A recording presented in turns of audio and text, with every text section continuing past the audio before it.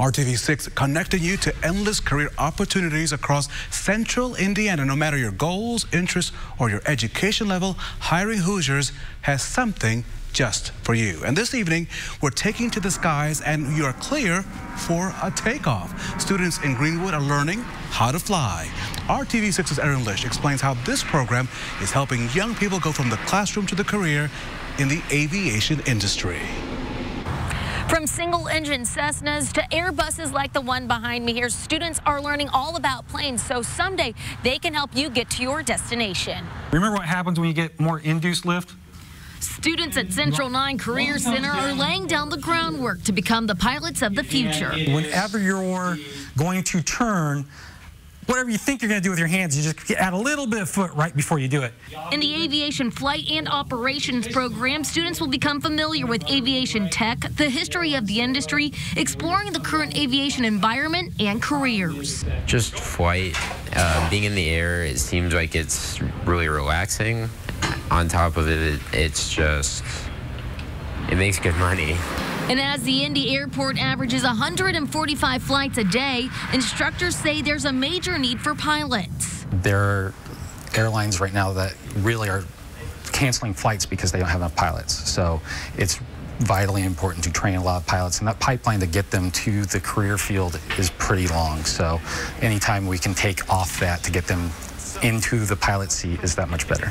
They will earn dual credits for the work in this program. Plane is going to yaw as it's rolling. Students say they'll also take away skills like problem solving, communication, and situational awareness, which they will use not only in flight but throughout their lives. It's not just a career thing. It helps you learn a lot of skills that are useful. Working for you, Aaron Lish, RTV6. Aaron, thank you so much. Students who complete the program at Central 9 will have nearly a full semester of credits in any aviation major that they choose to pursue. A young college student from Indiana is also up and coming and an entrepreneur and business owner. RTV6's Lauren Casey found the invention from a 20-year-old is creating jobs for many Hoosiers. The Socket Locket is an adhesive card holder um, where you can hold up to one, two, or three cards securely in place. Cicero native Katie Gelhausen is a 20-year-old college student, and like any college student, carries around her phone and school ID wherever she goes. You can pair it with your own phone grip and combine the two. So and so a device like this Socket Locket is really handy, and she found it's something her friends need. The catch? It didn't exist at first.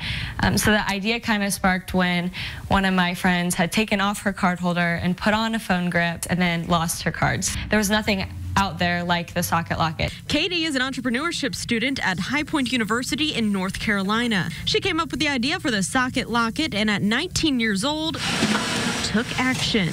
So it all started with basically just a sketch. She did research, made sketches, earned a prototyping scholarship, and is now patent pending.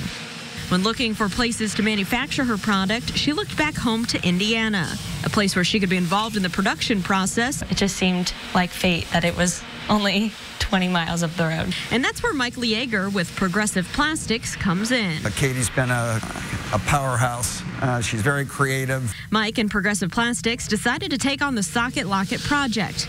The Elwood manufacturer is a full-service custom injection molding company specializing in medical, military, and aerospace products. And inventors are especially important to this local businessman. She has created something out of nothing, and that something demands attention. Uh, and that uh, affects every facet of, facet of the manufacturing process. Uh, there's prototype tooling, we've got assembly workers, we've got production operators, tooling people that all are touched by a new product. The success and demand for Katie's product not only impacts her business, but Mike's as well, allowing him to hire more Hoosiers. This is going to end up requiring us to increase our uh, our staff probably 10 to 15 percent. Not only providing jobs to his community in Elwood, but also helping his employees feel fulfilled in their work. We want to make sure they understand that their reach goes much further than Elwood. Uh, that there are people all around this country uh, that are picking up the products that you've produced. And I think that means a lot uh, in terms of somebody being able to get out of bed in the morning. Lauren, thank you so much. We'll see you tomorrow morning on Good Morning Indiana. To learn more about the socket locket, jobs with progressive plastics, or any of the many career possibilities you see here on RTV6, go to our website, hiringhoosiers.com.